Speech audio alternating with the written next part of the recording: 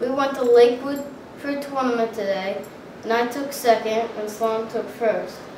I did great, and Sloan won 80% of his matches. Um, Sloan, as Dad keeps saying to you, you need to listen to Coach, and uh, I need to have the same mojo that I do when I pin people. So we hope to keep continue this momentum forward and uh, continue on to the next tournament. So Congratulations, boys. Daddy's proud of you. bye.